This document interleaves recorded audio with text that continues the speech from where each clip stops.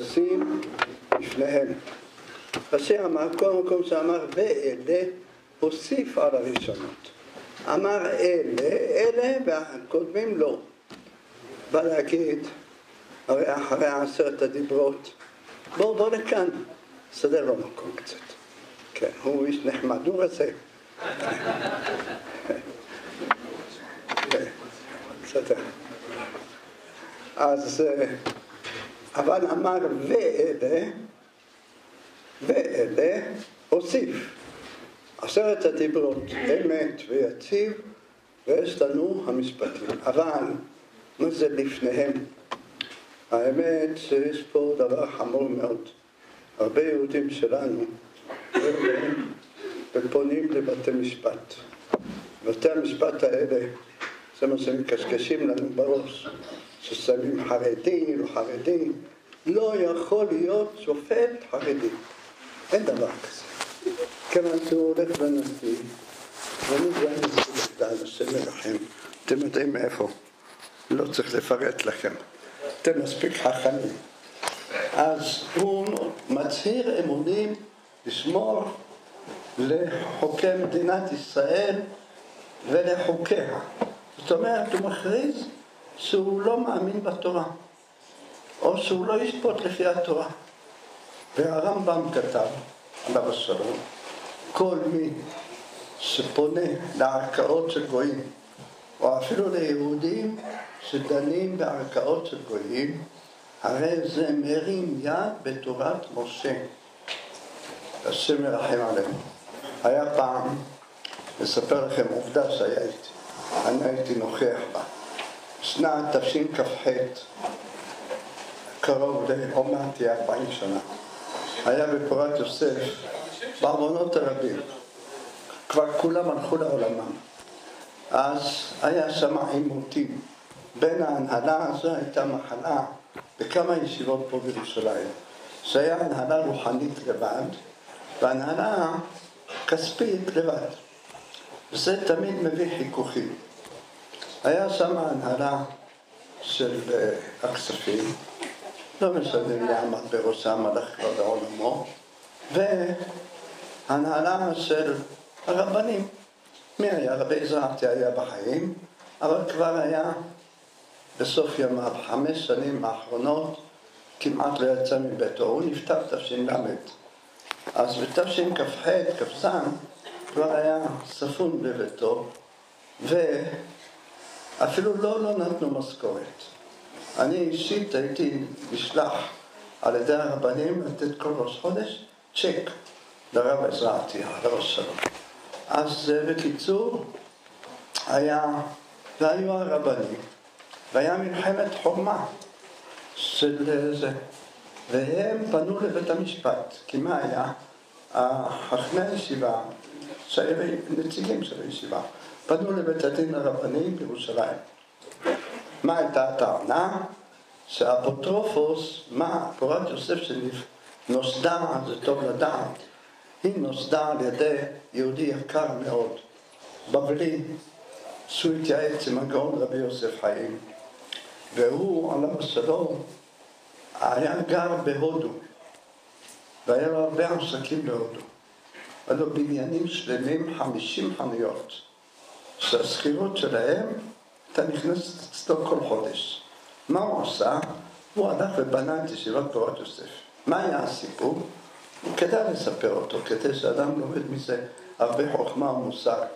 הוא הלך לרבי יוסף חיים לבגדד, ויוסף חיים לא היה יוצא מביתו. רק היה פה בירושלים בשנת תחקת שישה חודשים.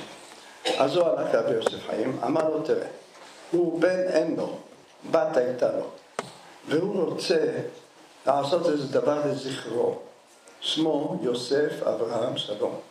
כמה מהספרים של בן ישחי, הוא נדב אותם מכספו, והרבי יוסף חיים חילק אותם חינם, אין כסף, לתלמידי חכמים. אז אמר לו, איזה דבר אני אעשה שגם הזיכרון שלו יישאר וגם יקרב את הגאולה. תשמעו שאלה, שואלים חכם. אמר לו הגאון רבי יוסף חיים, תפתח ישיבה לקבלה מול הכותל המערבי, ואין לי ספק שבתוך שנים אחדות המשיח יבוא. אז אמר לו, אבל קשה לפתוח ישירות, ישיבה לקבלה, זה לא דבר שהולך בחוץ, ולא תמצא הרבה. תפתח ישיבה לפשט, ולידה יש ישיבת הקבלה. טוב, הלך רבי יוסף אברהם שלום, ורכש את האדמה של ישיבת פורת יוסף, שעד היום נמצאת מול הכותל המערבי. מה יש יותר מזה? זה המקום היחיד שהיה פנוי.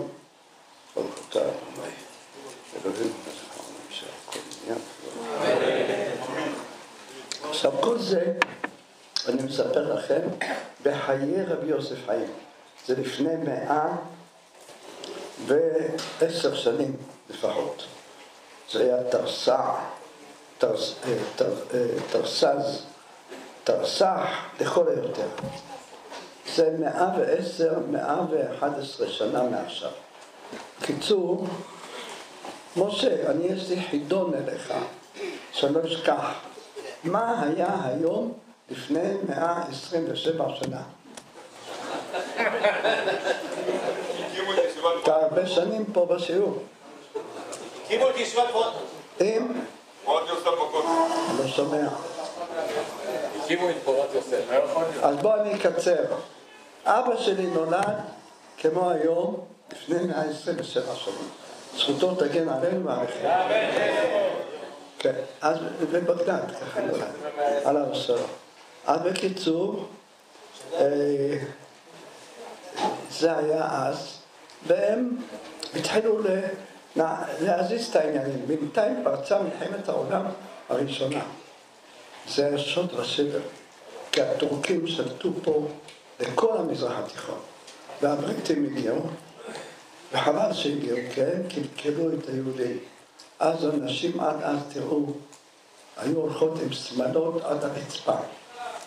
באו הבריטים והביאו את המודה החדשה, והביאו את החילונים לפה, הציונות באה לפה.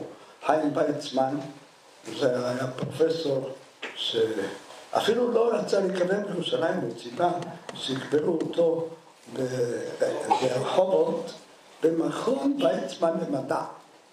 עד כדי כך, והוא רצה גם לתרום את גופו למדע, אבל השני, השיכור השני, שעצמו יש נתב"ג, אז אמר לו, לא, זה לא יפה, מה יהיה בעם היהודי, צריך לצחוק עליך, הוא שינה.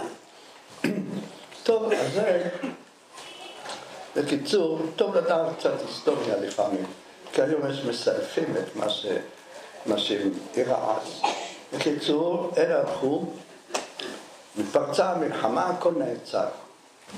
בינתיים נפטר רבי יוסף חיים, ורבי יוסף אברהם שלום היה איש חכם, הוא היה גם שהוא מבוגר, הגיע לגיל 70, מינה שלושה אפוטרופסים. שלושה אפוטרופסים. היה כתוב שמם, והם יהודים שלו שגרים בהודו. ומה הם אפוטרופסים? הוא עשה צוואה להנהלת הישיבה שלא יאספו, יאספו כסף עבור קבורת יוסף. אז מאיפה הגיעו? אמר להם, אני דואג גם לזה. תראה איזה יהודי היה. חמישים חנויות ההכנסות שלהם, מזה התפרנסו כל הרבנים של הישיבה. וגם יחזיקו את הבניין. והיה בניין מפואר, הזמין אדריכלים ומהנדסים הכי טובים בעולם.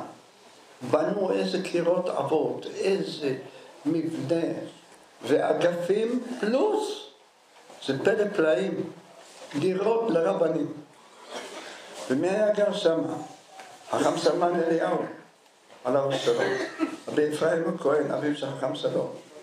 היה שם חכם בן ציון אתון, זה סבא של ראש הישיבה של ראשית חוכמה של היום. היה שם חכם עובדיה דיה, ועוד, זה אני לא זוכר, אבל אה, קראנו לפי הספרים ככה. זה איזה עשרה גדולי עולם. פלוס הרב בן ציון חזן, שהוא היה מוציא והמביא, ביד ימינו של הבן שחי. בינתיים, בשנת תרע"ד היה שיא המלחמה, ועל זה נתנו סימן המביט לארץ ותרעד. זה לפני מאה וחמש שנים בערך. והנה, המשיכה המלחמה עד תפרש ענזר. בדיוק לפני מאה שנה נפסקה המלחמה. נמשכה קרוב לשבע שנים, והיו בה הרבה הרוגים. הטורקים קיבלו מכות רצח, ואיתם הגרמנים היו בני ברית, ובאו גם, גם אסורים ועימם, היפנים ועוד, אשכר ועלואן ועג'אי בזמן. בקיצור, נפסקה המלחמה, התחילו את הבניין של הישיבה. לקח הבניין כחמש שנים, למה?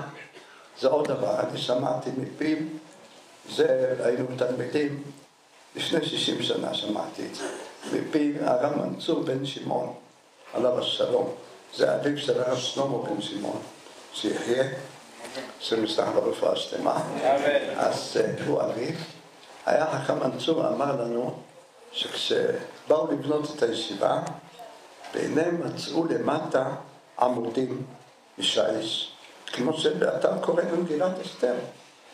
שם היא פה? מגילת אסתר, קראת? חור, כרפס, עוד חלק, ועמודים משיש, ואמר לנו חכם בן בכיתה, שהיו אבנים כאלה קטנות, מוזייקות, אבל נראים כמו אבנים טובות ומרגליות, מלא. היה כל הרצפה שם. התברר שזה היה ארמון החשמונאים, היה שם. והלך חכם ציון חזן, שילם מאה לירות זהב להשתיק את העניין, למה אחרת יעצרו את הבניין. גם אז היו ארכיאולוגים, כל מיני, ויבואו אלה שמחפשים אוצרות טבע, ויתחילו לחפור. סגרו את הכל, אני לא מעניין, התחלת להירדם. אז בקיצור, אני כבר עובר את הנושא, אל תדאג, אני מסיים. אז שמו והשתיקו את העניין, בינתיים הבניין מתעכב, שנת תרפ"ה התחילה הישיבה לזרום. בהתחלה הייתה פה בבתי כנסת שונים, בשכונת הבוכרים, ומשם עברו לשם. והיה שם ראש הישיבה הראשון, הרב שלמה דניאדו, אחריו בא רבי עזרא עתיה, עד ימינו אנו, מתחיל שם תש"ל, הלך לעולמו. זאת אומרת, עוד מעט, חמישים שנה, 48 שנה שנפטר. זכותו תגן עלינו. איזה, איזה גאון היה, איזה עצום, תלמידים. חם עובדיה, זה בהק תלמידיו, חכם מציון אבא שאול, בחירי תלמידיו, היה חכם שלום לופס, הרב של אה, עכו, ועוד גאוני עולם רוצים מתחת ידו. הרב דוד שלוש נפטר עכשיו, הרב של, של נתניה, זה תלמידו. הרב ציון לוי, הרב של פנמה, תלמידו. חכם שבתאי אטום, תלמידו. וכן זה הדרך, תמנה עשרות עשרות. מי שראה פניו לבד, זה היה מספיק. קיצור, מהון להון, אז אה, אה, הגיע לשם, והישיבה התחילה לזרום, והכל התחילה לחטא. פתאום נפסקו ההכנסות מהודו. היה איזה, בדרך שם הגויים עצרו אותם, מעלו, ועד היום יש הקדשות של הישיבה שם. זאת אומרת, אם רוצים, אפשר לתבוע את זה לממשלת הודו, או מהמחזיקים שם, אני לא יודע מי הם. קיצור הדברים, והגיעה שנת תשכ"ח, נהיה איזה מעצור, התחיל מריבות. עכשיו, האפוטרופסים האלה, שניים מהם הלכו לעולמם. מה עם זכרם לא ידוע. פוטובוס השלישי זה נשאר הבן שלו, בן שלו נשוי עם גויה ונוסע כל הזמן מסין ליפן ומיפן לאמריקה וכן על זה הדרך. עכשיו זה הרב הוא והוא הנקרא אפוטרופוס. עכשיו כל היסוד של הישיבה זה מכוח האפוטרופוס והוא חתם להנהלה שמה שהם זה. עכשיו מה עשו? אמרו הרבנים, זה הרעיון גם של חכם לציון, שבואו נעקוף אותם. נפיל את האפוטרופוס, אז נפיל את האפוטרופוס, נקים כעת ועד חדש של הישיבה. אז פנו לבית הדין הרבני, אמרו לא ייתכן שהאפוטרופוס הוא נשוי עם גויה. זה ערל נקרא, זה מומר, שהוא יעשה את הישיבה. וההוא אפילו לא שם לב, לא אכפת לו. אלה ההנהלה הגשמית, מה עשו? פנו לבג"ץ. לבג"ץ, בכל דבר אוהב להתערב, אתם מכירים אותו. שזה אמרתי לכם, אין, שופט חרדי, לא חרדי, דברים בטלים ומבטלים. קיצור, ונהיה רעש, וזה פרץ לתקשורת, והיה הרבה רעש מזה, וזה נמשך שנה, תהיה בפסח, פורים של תשכ"ז, והסתיים בפורים תשכ"ח. אז בקיצור, נהיה בלגן. הגיע באמצע, היה ראש השנה. עכשיו בדיוק אחרי כמה חודשים, חכם ציון אבא שאול קיבל את ההתקף לב ראשון שלו, ונחלש. לא בא לישיבה איזה כמה חודשים, היה סיפור שלם. אפילו שלא עבר, לא ניתוח ולא כלום, אבל לא היה לו כוחות. והנה הגיע ערב שנה, אמר אני מצלצל לנשיא של הוועד, זה היה רב סלמן ששון, מתחכם חשוב, והוא לא קשור לאותו ששון, אבל סלמן ששון היה יושב בלונדון, בלצ'פוג, ושמה הייתה לו ספרייה ענקית, באוסף גדול, אביו היה, אבי דוד ששון, אסף כתבי יד מהרמב"ם במוארכו, ומה לא. והיה לו אוצרות של, של uh, ספרייה. סיפר לי רבי יהודה צדקה שהוא בשנת תשי"ד נסע לשם, כיוון שהיה צריך לבנות את הבניין כאן בשכונת גאולה, וחבל שהוא שומע, עומד ריק. ואספו, וכולם התנדבו, ואז גזרו הרבנים שכל יהודי ויהודי ספרדי ייתן אבן לישיבה. אבן זה לירה. אני עד היום יש לי בבית קבלה, הייתי ילד קטן, מאבא שלי כתב על שמי, אבן של ישיבת יוסף. טוב, בקיצור, זה היה תעודה כזו, אז נתנו, והנה, בא לצלצל אליו.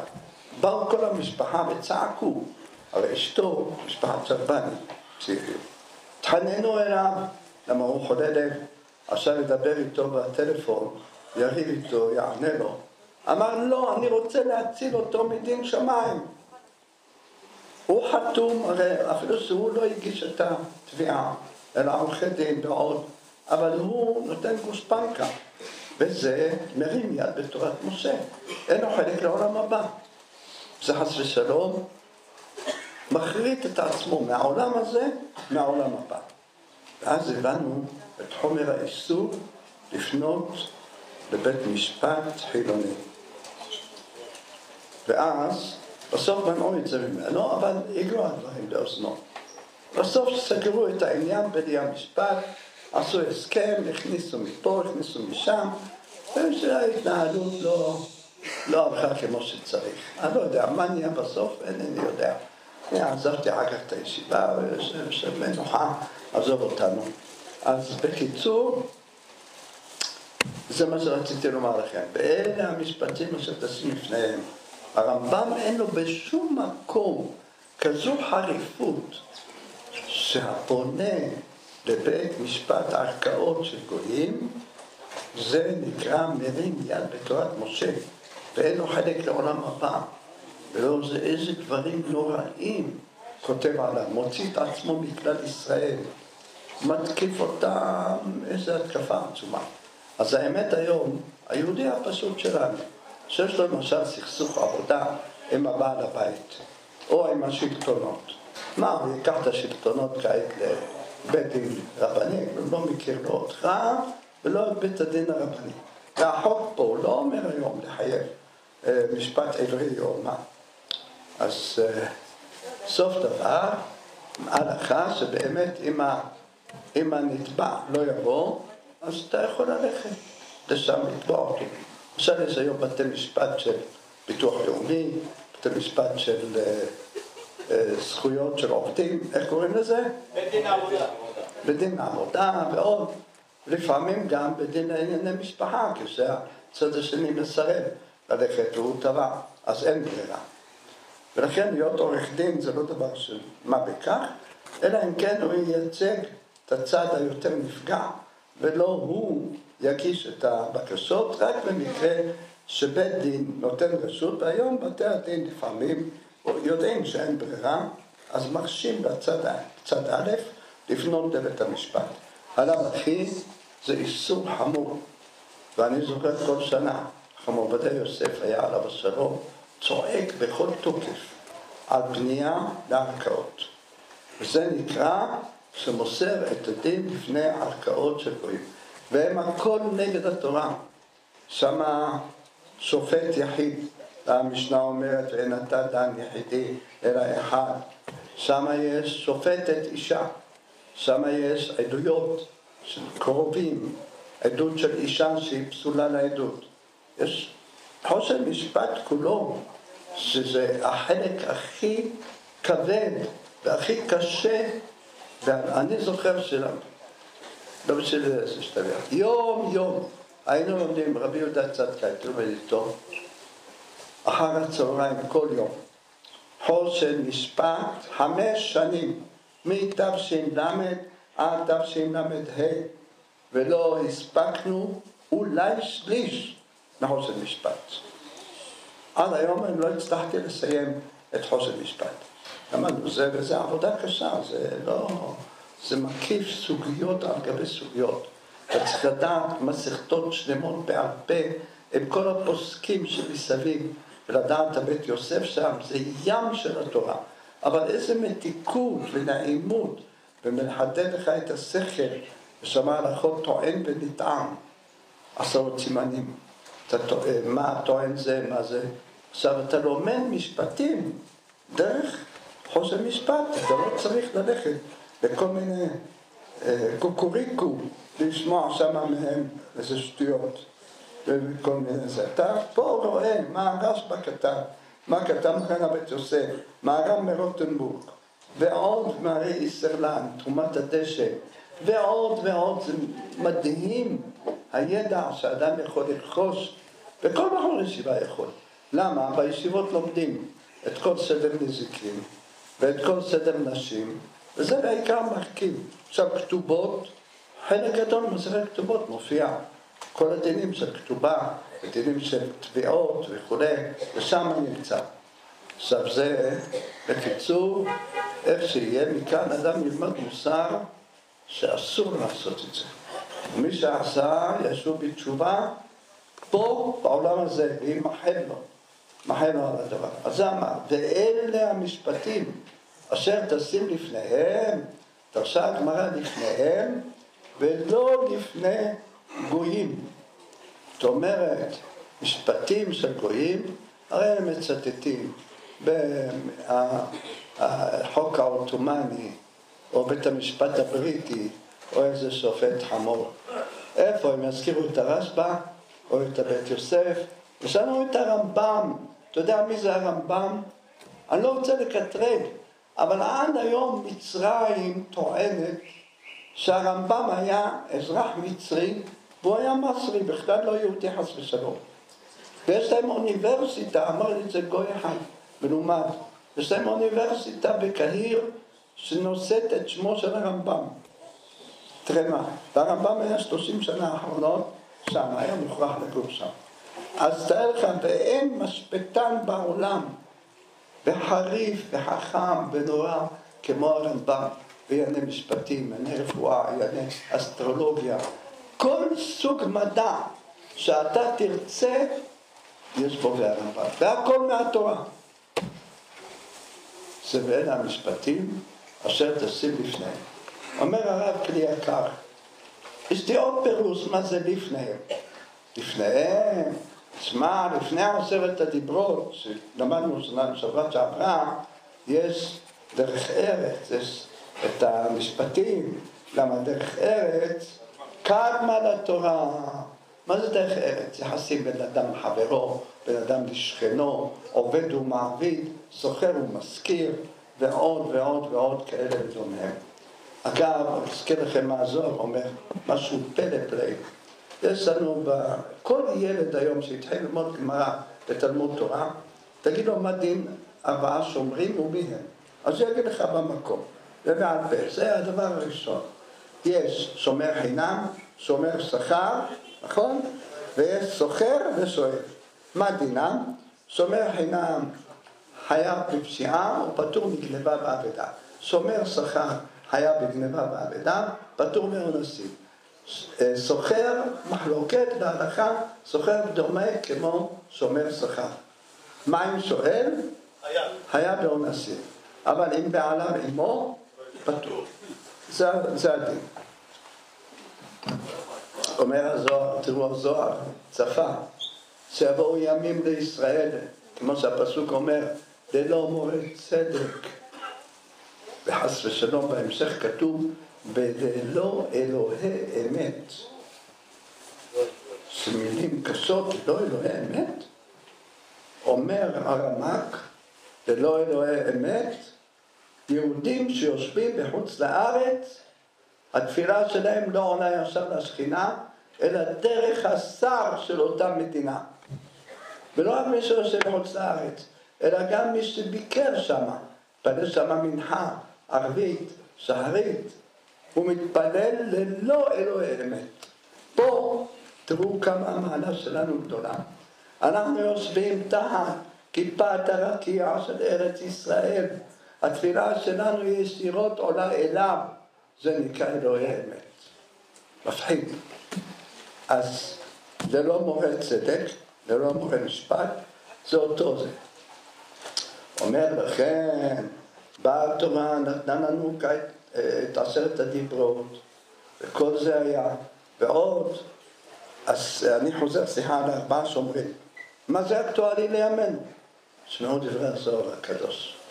אומר, יש אדם לומד, זה שומרים זה אנחנו.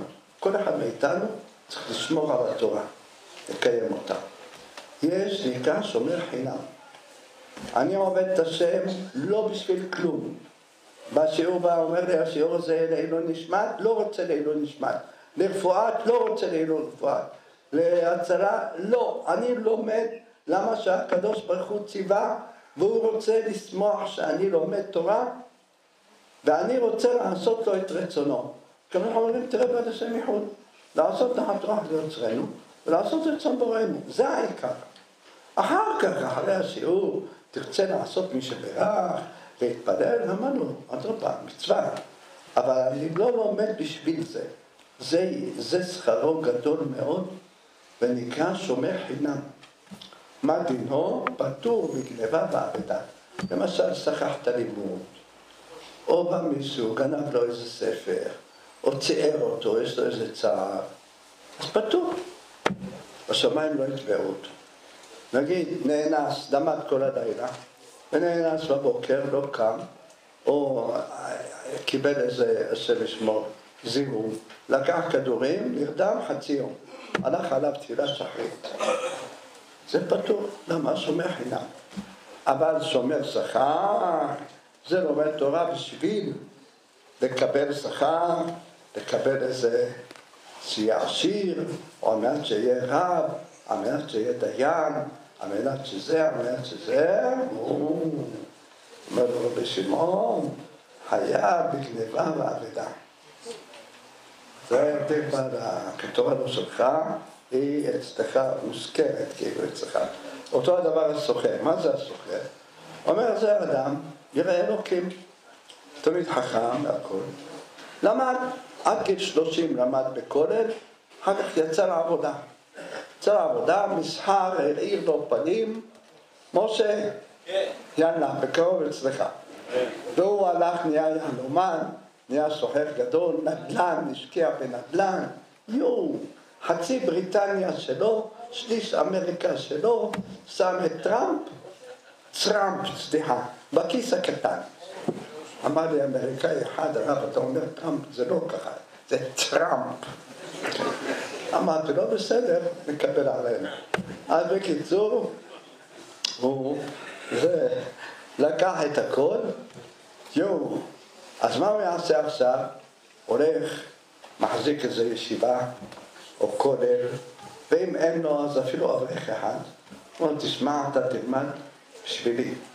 הוא היה עליו השלום, בעל המשנה למלך, זה לא בטורקיה, זה משהו מבהיל.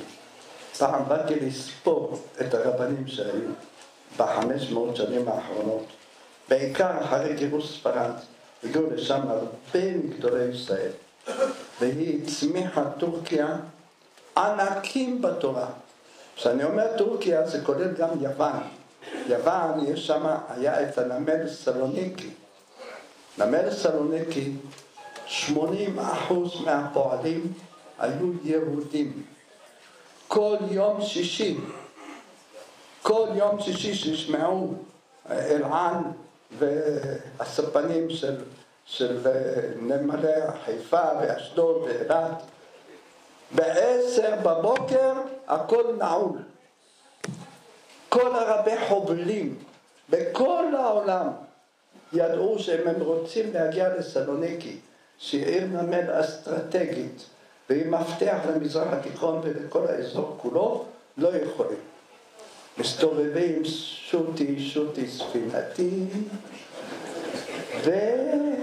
ועושים שבעים רונדלות בים ועכשיו מסתיים בלאגן, שלא יתקנו על הספינות עד יום ראשון בבוקר.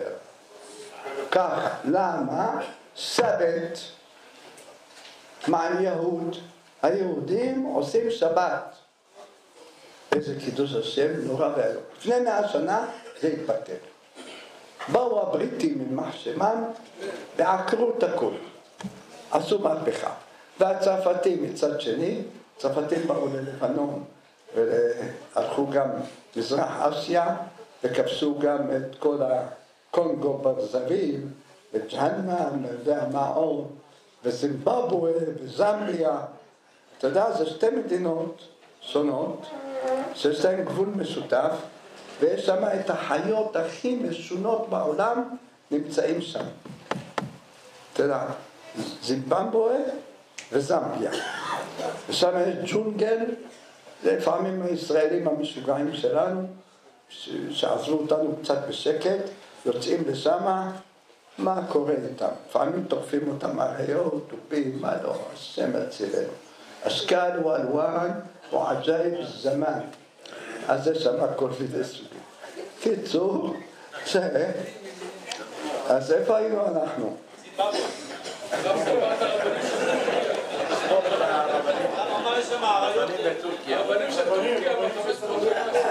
הגעתי למספר חמשת אלפים גדולי ישראל, וכולם מחברי ספרים. הגאון החקרי לב בא משם. מרן הבית יוסף, הרי הוא היה ילד בגיל חמש, גלה מספרד, עצר באנטריפולי, עם רבי שלמה אלקבץ, היה לו ישיבה שם. אחר כך עלו לצפת, הרמ"ק משם, רבי יעקב ברב בא משם, הרדב"ז, רבי דוד בן זיברה בא משם. אחרי זה היו כאלה שנפטרו שם. היה שם אחד מהגדולים ביותר, רבי יהודה רוזניס, זה כל בן ישיבה צריך לדעת, הוא בעל משנה למלך, חיבר משנה למלך על הרמב"ם, איזה חריפות, איזה ידע לקרוא דיבור אחד של משנה למלך, לוקח לך חצי יום. אני לפני איזה שבועיים צריך איזו סוגיה, יום. אם היה מותר הייתי לוקח איזה שש אקמול. שאוכל להתרכז בסוגיה. אבל מספיק לי בכדורים שהרופאים מרעיקים אותי כל בוקר, סלחו לי. זה גם העוונות שלי, עדיין צריך לכפר אותם. אבל בקיצור, זה המשנה למלך, ענק שבענקים. מה היה המעשה? הוא היה לפני 350 שנה. מפה נסע רבי משה חגיז. משפחת חגיז היה למשל זה רבי יעקב חגיס. אביו גם היה גדול, ומשה חגיס זה דוד שלו. הוא היה גאון גדול, בקיא בכל התורה, וגם בקיא בהוויות העולם. למה? רב כזה, יגיע, הוא מגיע, הוא שליח, ספרו אותו מירושלים. אז הוא הולך לכל מיני ארצות, יש לו רשימה איזה ארצות שהוא מתאים. הייתה ועדה מיוחדת שיודעת לשלוח כל אחד לכתובת הנכונה. היה מגיע לשם, תוקפים אותו בשאלות. אתה לא יודע, פתאום אישה אחת שואלת על תרנגולת, ההוא שואל על מזוזה, פתאום ההוא שואל על דיני טהרה, אחד שואל אותך. והוא צריך את הכל לדעת, ולא רק זה, לפעמים השואל לא יודע לשאול. אומר לך, שאלה מכשילה, וצריך להיות החכם פיקח, להבין מה הוא מתכוון לרדת לסוף דעתו. מכיר הסיפור עם חיים מבלוזין? חיים מבלוזין, יום אחד היה יושב בישיבה שלו, באמצע השיעור, צריך, בן אדם, לא סב אדם, היה צריך לצאת, יוצא המימה, יצא, בטן מי, היו אומרים בערבית, הבית של המים, בראשון נקייה. אז הוא יצא לשם, פתאום נכנס איזה איש אחד. נגיד זה נהג טקסי של היום, אבל זה היה עגלון. נכנס ככה עם הסרבד שלו, אה, תגידו איפה הרב שלכם? היו 80 תלמידים. אמרו לו, מה אתה רוצה ממנו? אומר, יש לי שאלה. טוב תשאל, אולי אנחנו יכולים לעזור לך. אמר להם, אני כהן. נו, אתה כהן. מאדים לקחת גרושה. צחקו עליו, אמרו לו, כתוב פירוש בתורה, אישה, גירושה, חללה, לא ייקחו, קדוש רב, אסור. ופרצו בצחוק 80 בחורים. זה איזה עגלון זה, לא יודע את הדבר הכי בסיסי. נכנס באמצע, רחץ את הידיים, נכנס לחיים אבולוזין. שומע אותם צוחקים. אומר מה השאלה? מה צחקתם? אמרו לו, הרב, זה זה טיפש זה. אומר לנו, עם אישה גרושה, הוא רוצה לקחת. אמר, מה אמרתם לו? אסור. אסור, מותר. יצא אחריו, צעק לו, בוא אליי, עגלון, מותר, מותר. הרב, מה מותר? אמרתם, לא הבנתם אותו. הוא לא רוצה להתחתן עם גרושה. הוא רוצה, חשב שאסור לו לקחת בעגלה אישה גרושה. הוא לא התכוון על זה, אתם צריכים להבין את השאלה של הבן אדם לפני שאתם עונים. ככה היה. שאלו אותו, אמר כן, חשבתי שאסור לי לקחת איתי בעגלה גרושה, למה הוא כהן? זה מדבר. זה ביארו, מה שכתוב אצל דוד המלך, טוב רואי, עם יפה עיניים, יודע נגן. והגמרא שואלת, מה זה, מה זה? סיבה, הגמרא יודע להישאל. מה זה יודע להישאל? יודע לשאול, היה צריך להגיד. אלא להישאל, שאם שואלים אותו, הוא מבין את האיש שכנגד מה רמת המשכל שלו, מה הוא מתכוון בשאלה. זו העוצמה של חכם אמיתי. אז שלחו את רבי משה הגיס. הגיע רבי משה זה היה לטורקיה. טורקיה לאיסטנבול. איפה זה איסטנבול? זה קושטא, העיר קושטא. איסטנבול, נכנס לשם. וואו, איזה קהילה ענקית הייתה שם. יש להם מאה אלף יהודים באיסטנבול לבד, מחוץ לאזמיר. יש לך את איזמיר, יש לך את סלוניקי, יש לך את אה, עוד כמה וכמה ערים ואזורים. הוא הגיע לשם, אמרו בשבת, אתה דורש דרשה מרכזית. אבל דרשה זה לא איזה דרוש, מה שאני פה מספר לכם סיפורים. הביבי דרשה זה הרמב"ם. הם מפרשים, הם גמרא וקושיות ותירוצים, וללכת להיכנס לכל מיני נישות שאף אחד לא נכנס אליהם, ולצאת משם. אז הוא בא רבי מוסר, התחיל לדרוש. זה היה נקרא שבת שרב אורח מגיע, חלוקה דרבנן. החלוק של הרב. זה עוד לא הקדימה, זה החלוק שלו. ככה היו קוראים לזה חנוכה דרבנן. טוב, הוא דורש עליו השלום, והנה פתאום באמצע השיעור שלו נכנס יהודי גבוה עם מדים לבנים של צבא, צבא טורקי, כובע מצחייה עם כל מיני כוכביות, כוכבים עליו, וכאן יש לו כל מיני מדליות, והם לא מכירים מי זה. גבר כבן שלושים, נכנס, יושב, פתאום באמצע שרבי מוסר חגיז אומר, אומר, סליחה, יש לי שאלה. בבקשה. שאל אותו, בואו. אמר לו, זה יש הרמב"ם בהלכות בין סורר ומורה, ובהלכות זה כתב כך, והקשה עליו זה כך, וכתוב במסכת כתובות כך וכך, שלח אותו עוד פעם מסכת מכות, נחל שוטף. ואנשים בכלל לא מבינים מה הוא מדבר, כי הוא מדבר איתו קצר, קודים של הצבא, שלא מבין את הסיסמאות שלו. טוב, כי הרב הכין דרשה שתהיה פחות או יותר מובנת לכל, הנקושיות, תירוצים, דברים, עם רמה, אבל ש, שיהיה מתאים גם לציבור. המשיך הרב לדרוש. לדרוש עוד פעם עצר אותו. שאלה, ענה לו, קצר. פעם שלישית אמר לו, אחרי השיעור אני אפגוש אותך לבד, נברר את זה. זה לא, לא מתאים כאן לכל הציבור, בבקשה. אמר בסדר. בסוף חקרו מי זה האיש. זה היה רבי יהודה רוזניס, בעל המשנה למלך על הרמב"ם. והוא קבור באיסטנבול. בעוונות הרבים, הקהילה היהודית שם, אני פגשתי את הרב של, של הקהילה, ספק שומר שבת, ככה אני אגיד, לא, לא אגיד יותר מזה, והוא למד בפורת יוסף. והוא עצמו לא יודע איפה קבור המשנה למלך. זאת אומרת, נחרב בית הקברות, הכל, השם ישמור. ויש שם מינו, זהין, בעל מעמלו עזר ויעקב קולי, ועוד ענקים של ענקים. אמרתי לכם, חמשת אלפים גדולי עולם. תבינו מי היו אצל הספרדים, אז התורה הייתה אצל הספרדים. בעוונות הרבים. נמצא מזה כלום. יש בקושי את הקבר של... ברח לי מהראש. לא, זה באזמיר, אני מדבר איתך על איסטנבול. די, אתה עושה לי כעת חידון.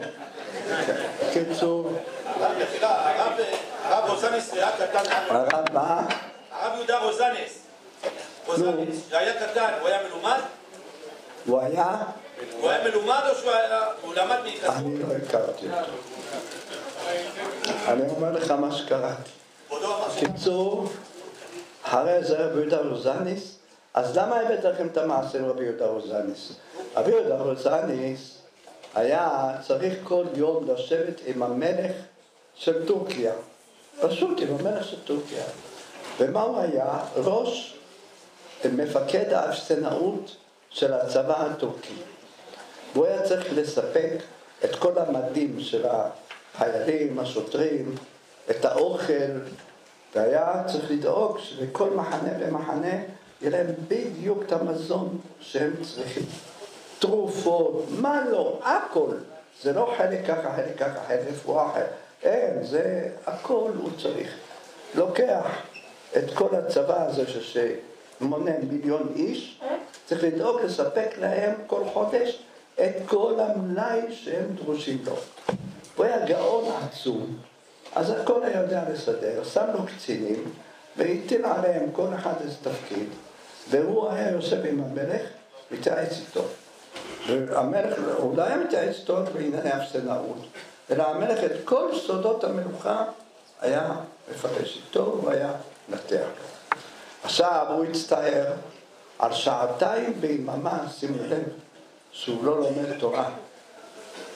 מה יעשה? יש לו בית עם אגפים, יחד אגף מיוחד, עשה שם ישיבה.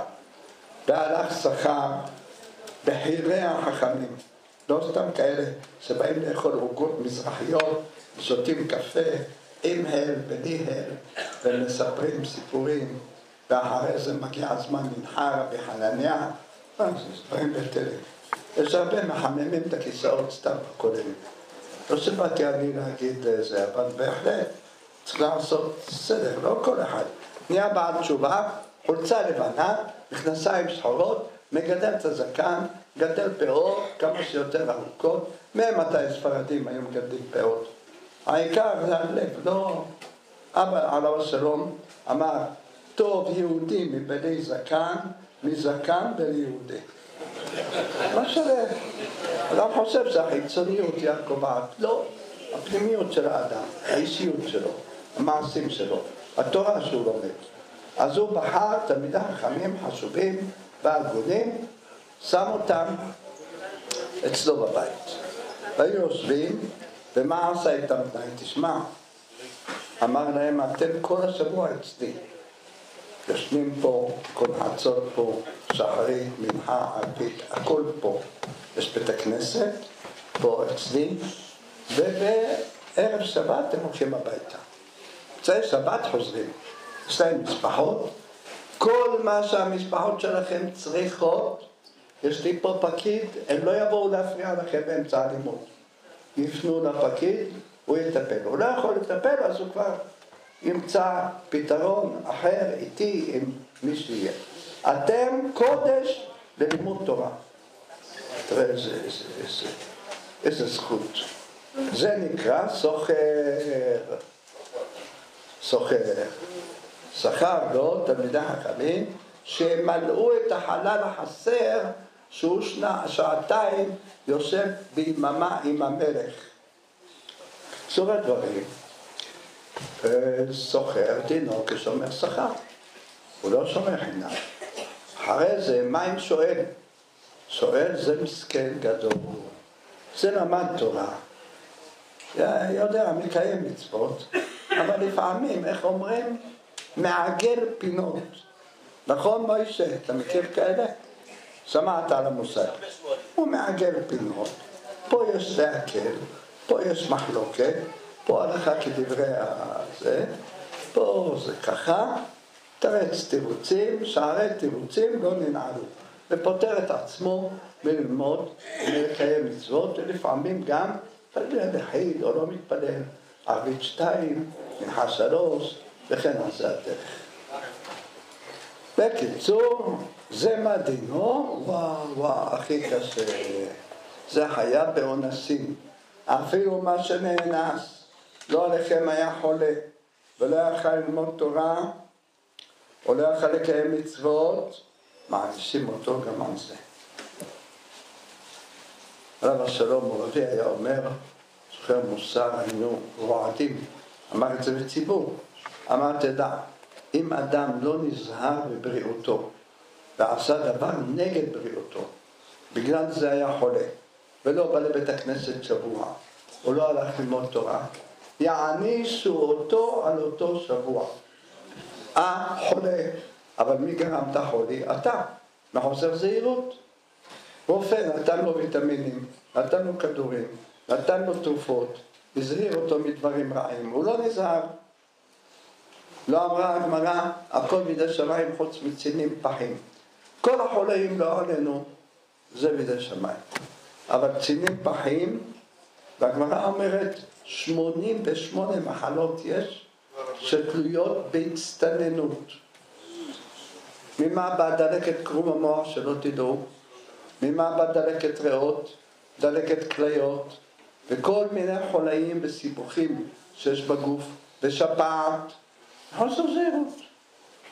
רופא אומר, לא, אז תיזהר, יש סכנה, אסור לעבור על דברי הרופאים. אז כן, ואין לך אלא רופא שבימיך. זה הפרשה שלנו. ורפו ירפא. שאלו מכאן שניתן הרשות לרופא לרפות. אנחנו יודעים שיש מצווה לרפות. מה בא להגיד? ורפו ירפא. מכאן בטח יבוא אדם יגיד, ילד ישאל אותי, מה הרב, פיקוח נפש, דוחה שבת, אני מחלל שבת בשביל להציל נפש. אז סתם ביום חול לא מרפאים? מה בא להגיד רש"י? דבר פשוט. אלא רפו ירפא, שמן לא ייקח שכרו. למה? יש לנו כלל, שימו לב, שעל מצווה לא לוקחים כסף.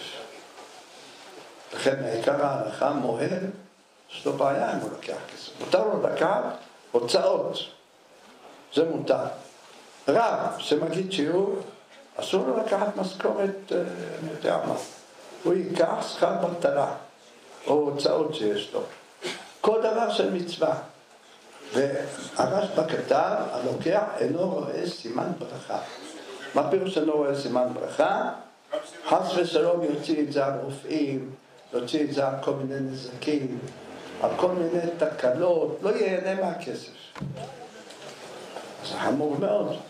אז כן, רגע, אז הייתי טועה לומר שהרופא אסור לו לקחת שכר. בא הפסוק אומר, רק שבטו ייתן, ורפוי רפא שלם עשרה. נו, עכשיו התור שלך. תגיד לי, אני שואל אותך, זה צודק? אתה יושב שלוש שורות מולי, אחריי, ואתה נרדם לי בשיעור, ופתאום כשאתה מתעורר, אתה מחליט לשאול שאלה. אין דבר, לך מותר הכל. אז שאלה כבוד אמר, אסור להיכנס לבית משפט בערכאות. כן. יש בן אדם. ערכאות, הוא נזכר עכשיו, כן. כמה חלומות ראית. לא, יש בן אדם הוא לא בא לבית דין. הוא לא בא לבית דין. כן. אז אתה, חצי הדרשה שלי, היית ער, חצי השני נרדמת. אני אמרתי שאם אתה יודע שהוא לא יבוא, או שזה, הוא עובד בחברת אוסם, לא שיש לי משהו נגד אוסם, אני בעדם, אבל אה, נגיד, המנהל של אוסם, מה פתאום, יש לנו יועץ משפטי, בוא לבית דין לעבודה. אז באמת ילך לבית דין לעבודה, אין מה לעשות. אבל צריך רשות מבית דין. לא יעשה הנעת עצמו, איש הישר בעיניו יעשה. אלא ילך לדיין, יגיד לו, תראה, אני כך וכך, או רב גדול שהוא מומחה, אז ייתן לו עצה בהתחלה, לאן לפנות, איך לעשות. ואם לא, מותר לו. בסדר? זה הזמנתי אותו לבית דין. כן. שמתי 200 נשים, בא. כן. מכה אבי ואמו, מות יומת. הוא מקלל אבי ואמו, מות יומת. מה ההבדל ביניהם? מכה זה הכאה שיש בה הוצאת דם. לכן אומר לכם את האמת, זו בעיה קשה מאוד. אני הכי קשה לי כששואלים אותי שהוא רוצה לעשות זריקה לאבא שלו, בפרט חולה סוכרת חוץ מאיתנו, וזה, אז זו בעיה חמורה.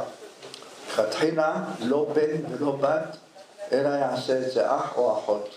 אבל היום בבית יושבים, ואין לא אח ולא אחות, ולא גוי ולא אדם זר שבקיא.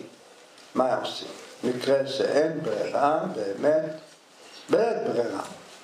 למה? אי אפשר שהוא ידקור, אפילו ידקור אותו, זה כבר כאב, הוא גורם לאבא שלו כאב. ואחר שהוא מוציא את זה, יוצא טיפת דם. הוא הדין יש את השאלה, אם מותר לו לספר את אביו.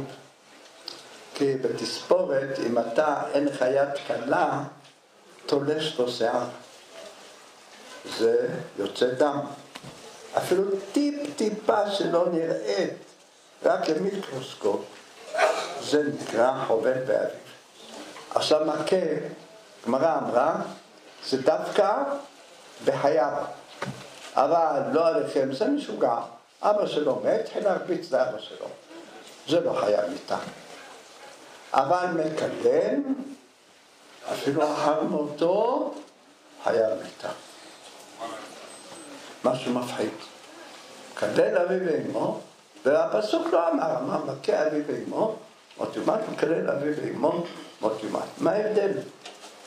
אלא זה המקלל הוא, הוא פוגע בנפש, והנפש היא חיה גם אחרי שאביו נפטר בחיים, שומע את הקללה, מתבזה על ידי הקללה, זה חייב. אבל במכה, הגוף לא מרגיש כלום, אין בזה שום דבר. עוד שאלו, רוצה את אוזנו ובדלת. למה בדלת? מה הרעיון פה? הרעיון, פתחו לך את הדלתות, אומר לך, לך הביתה. לא רוצה. לכן לוקחים אותו באוזנו ובדלת. האוזנו רב חיים מצאנז, עליו השלום, הוא האריך ימים. והיה גאון גדול מאוד. שלוש נשים שלא נפטרו. היה לו אישה רבעית, בנו, אתה יודע מה זה בנו? צרה בערבית. וזאת הייתה עצבנית. נפלה לו אישה עצבנית בגורלו. לא היה מה לעשות. עכשיו היה לו שמה, מה יעשה? אנשים באים בהמוניהם. אי אפשר. לקח איזה איש אחד, שכר אותו, שיהיה המשמש של הרב. יכניס את האנשים בשביל או מתי שהרב מתפלל, לא. מתי שהרב סועד, שיהיה קצת אה, דיסטנט. 24 שעות ביממה באים אליו. עכשיו האישה הייתה עצבנית, את העצבים מוציאה על המשמש. יום אחד בא המשמש, אמר לרב, אני מתפטר. אני לא יכול לסבול.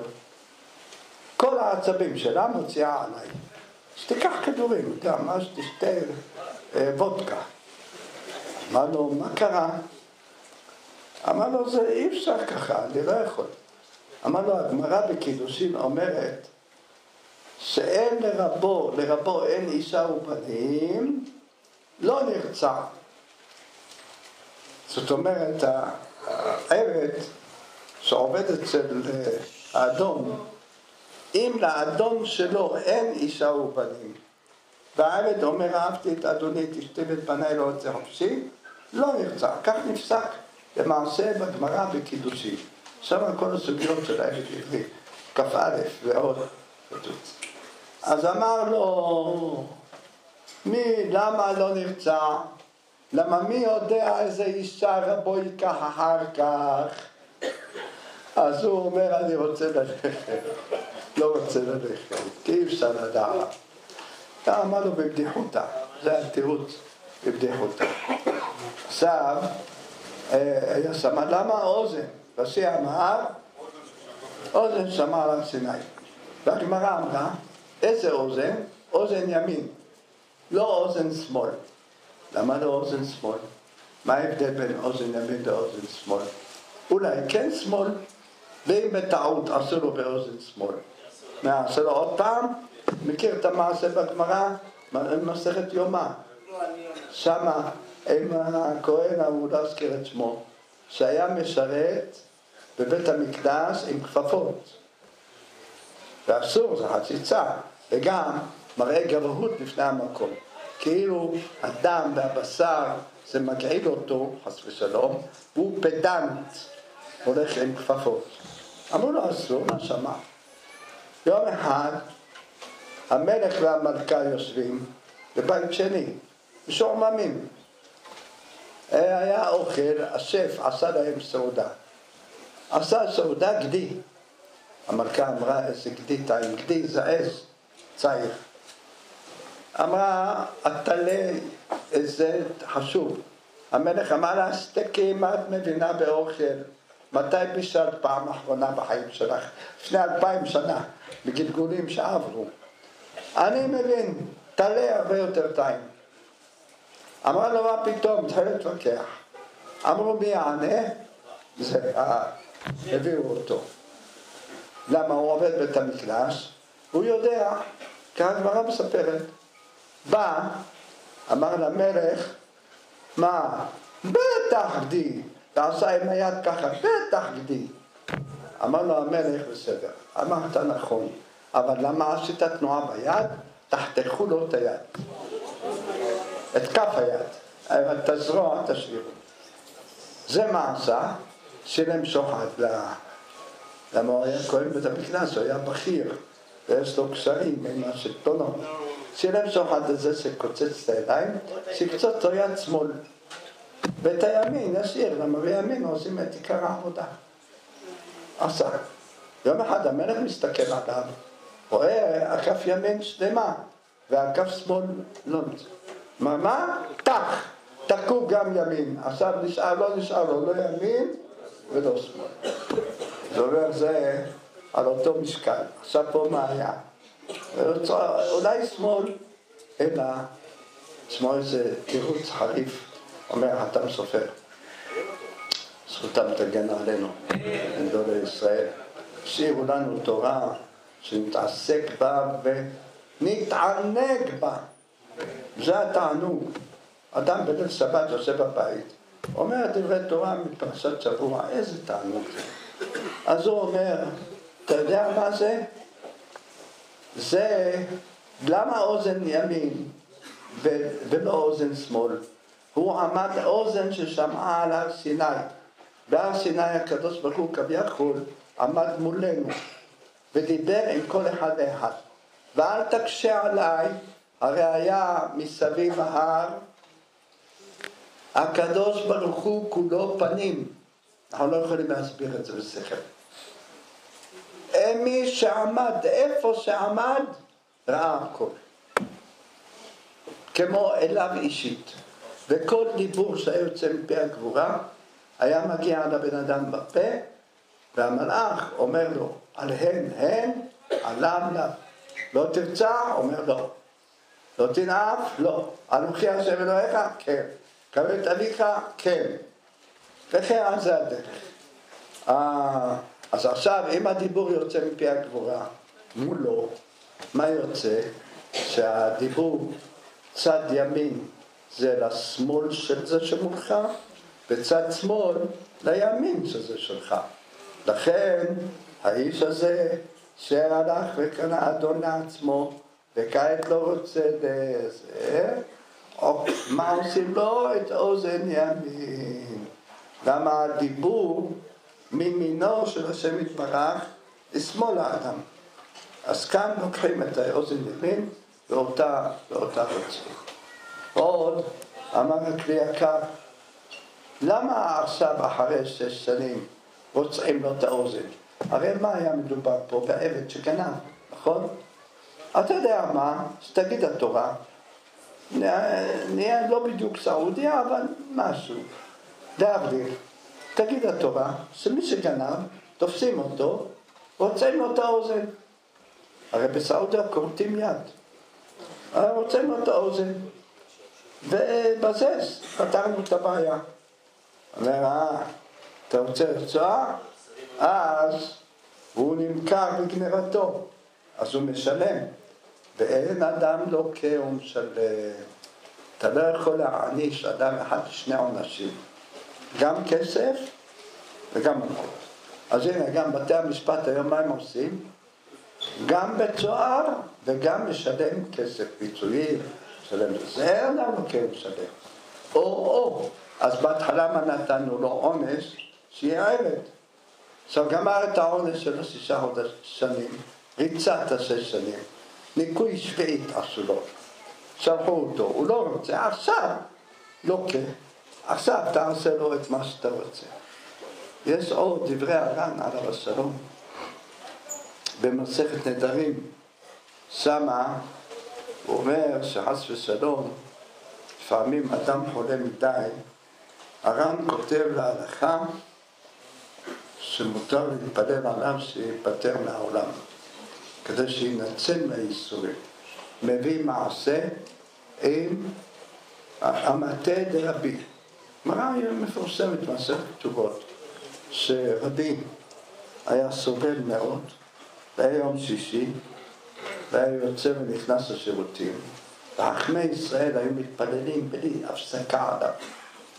עד שאמרו, מי שיאמר שרבי מת, ידקר בחרב. אז בינתיים, המטו, והיו אומרים, המטוס של רבי הייתה עולה לגג, מתפלל את ריבונו של עולם. עליונים רוצים את רבי, תחתונים רוצים את רבי. יהי רצון שיחופו תחתונים את העליונים. ראתה שהוא סובל, עלתה ואמרה, יהי רצון שיחופו עליונים את התחתונים. ומה עשתה? לקחה כד ריק מחרס, עשתה בום, זרקה אותו למטה.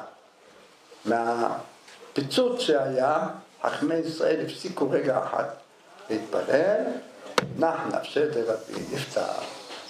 שלחו את רבי יהושע, אמרו לו, לך תראה מה קורה בחדר שרבי נמצא. נכנס רבי יהושע, ראה שרבי נפטר. קרע את בגדו. כתוב בגמרא, והדרה לאחורי. קרע את הבגד חוץ מאיתנו, וזרק אותו על הכתף. מה זה הדרה לאחורי? אמרו המפרשים, אמר להם, תדעו שעכשיו אנחנו לא נרגיש מיד את החיסרון שלו. אחורי, אחורה עוד שנה, חמש שנים, אז יהיה לנו איזו שאלה, תהיה לנו בעיה עם הרפורמים, תהיה לנו בעיה עם זה, ואנחנו נשאל, לא נדע את מי לבקש, את מי לשאול.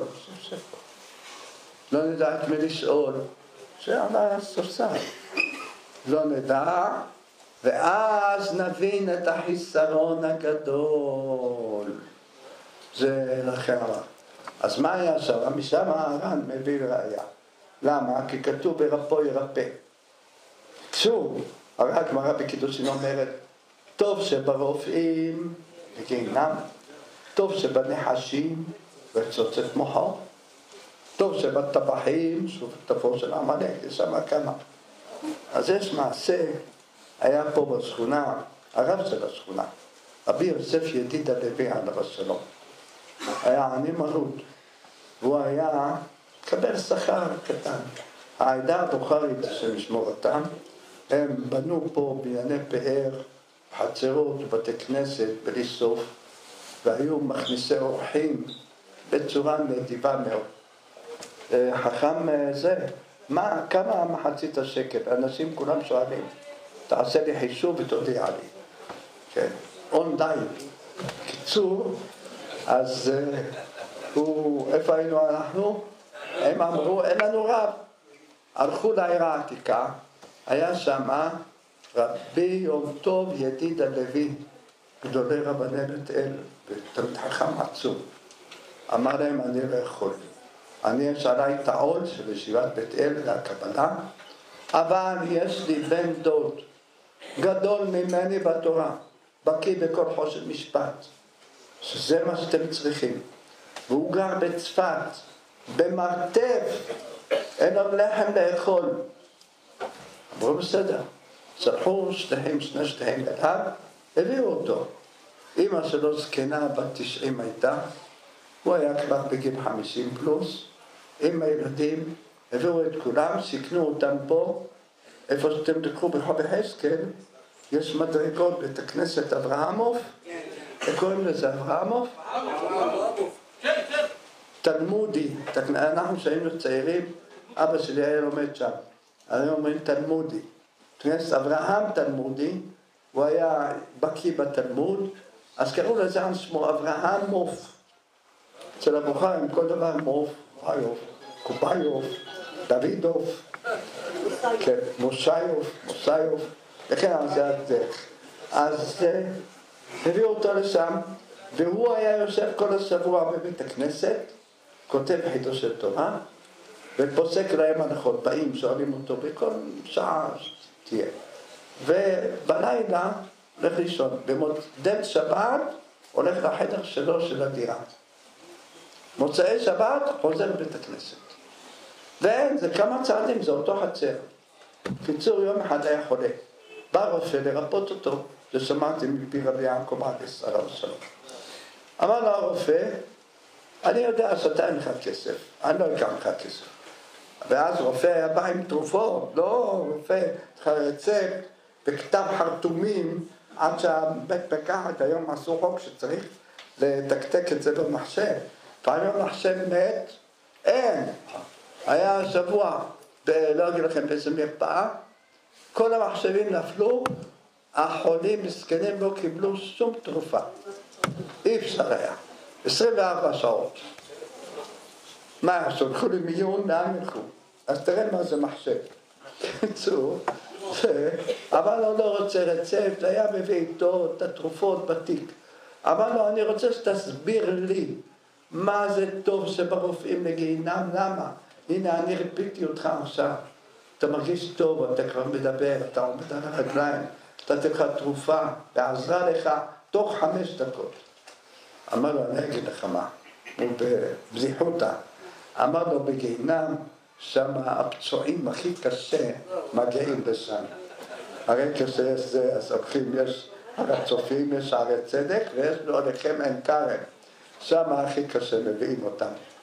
אז בגיהינם יש שם, מכים אותם, שורפים אותם, זה עם כוויות, זה עם רגליים שבורות, זה קצוץ ידיים, השם ישמור. אז צריך רופא טוב. אמר לו, בוא הנה, אתה ניצחת אותי. אבל יש כמה פירושים על זה. אחד הפירושים, התפילה שלנו תפילת שמונה עשרה. חוץ מברכת למינים, שתקנו אותה אחר כך. עיקרה שמונה עשרה ברכות. הוא הרופא אומר, לא צריך להגיד רפאנו, תבוא אליי, אני ארפא אותך. למה אני רופא טוב? וטוב שברופאים זה גיהנם. טוב, כמה יוצא טוב? שבעה עשר. ט"ו ב'. אה, צריך לברך עליך שהחיינו ידידיה. אז זה טוב, שבעה עשר. והוא אומר, לא צריך להגיד רפאנו, אני הרופא. זה לגיהינם, שלח אותו. הרמב"ן, נחמני, כתב פירוש, שהוא הגיוני מאוד, אמר, כי לא נהיה רופא טוב עד שהרג כמה אנשים לפני כן. ניסה עליהם את הרפואות וניסה עליהם את הטיפולים, הרג אותם, ומטעויות הוא למד. היום לוקחים גופות ולומדים בהם. יש בינתיים מחצית השקל, כמה?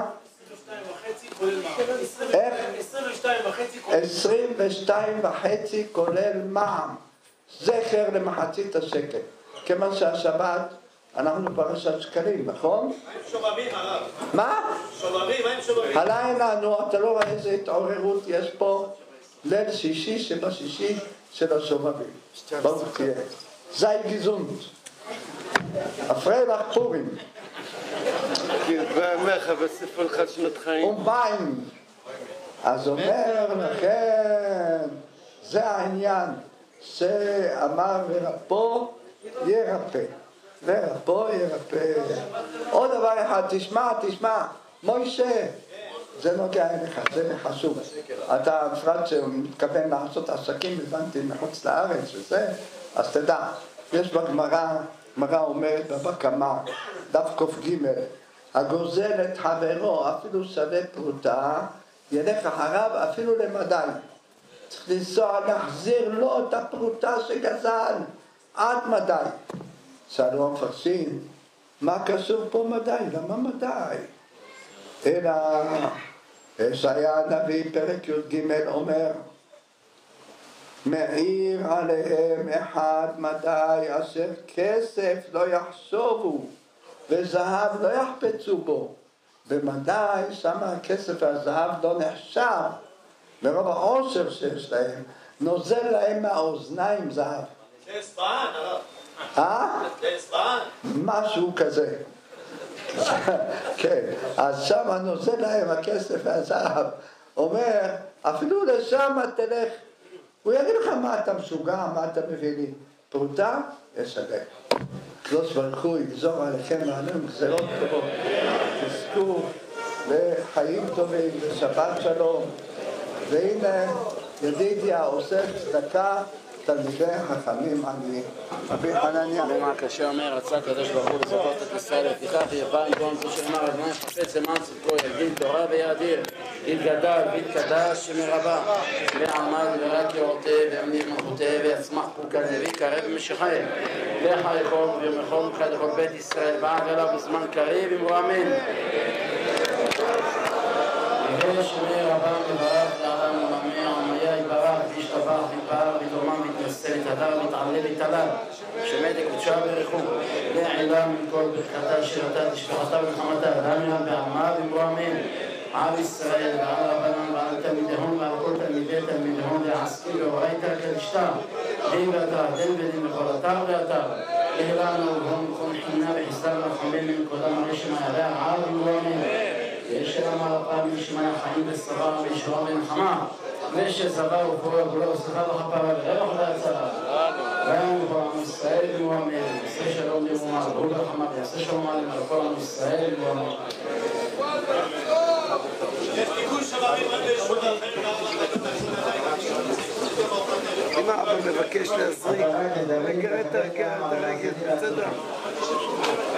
אם האבא מבקש להזריק, אפילו אם הוא מבקש. הוא מבקש להזריק. שמעו נא רבותינו הרי אנחנו רשיבים מעלתכם לנו בנשותינו ובנינו ולבנותינו לכל הנלווים אלינו כל מרעים, שבועות, חרמות, נדויים וזיפות ולבטל כל קללות, קללות, שמטות וכל דברים רעים וחלומות רעים ותורדות רעים וכל מיני עין הרע הן וכיוצא צירוף ורצוף קבוצה ואיפה ושכינתם, דין של מעלה ודין של מטה. מותרים לכם, מותרים לכם, מותרים לכם. שראויים לכם, שראויים לכם, שראויים לכם. יכולים לכם, יכולים לכם, יכולים לכם. אין כאן נדרים, אין כאן שבועות, אין כאן חלומות. אין כאן שמטות, אין כאן עין הרע. אין כאן נדויים, אין כאן קללות. בין שקילתם אחרים, בין שאחרים קיבלו אתכם. בין שקילתם לעצמכם, שחייתם של קללה או חרם. או שום גזירה רעה, חלומות רעים, פתרונות רעים. בין שהלמתם אחרים, או אחרים שהלמו אחרים. כולם בטלים ובטלים. כדי חרש המדבר, דבר שאין מה לעשות. שם שהסכימו בתלויים דין שמטה, והסכימו בתלויים דין שמעלה. כל הקללות, חלומות רעים, פינות רעים, כל מיני עין הרע, כל מיני חולאים קשים וגזירות קשות מאוד. תבקו עליכם ועלינו ועל כל ישראל לטובה ולברכה. וכתיב ויהפוך אדוני אליך לך, תקרלה לברכה, תרכה אדוני. כתיב אתם אתם אדוני אליכם, האם קוראים רצון וברכי, והגיון ברכה, אה, אדוני מצווה שואלים. Luterano, né?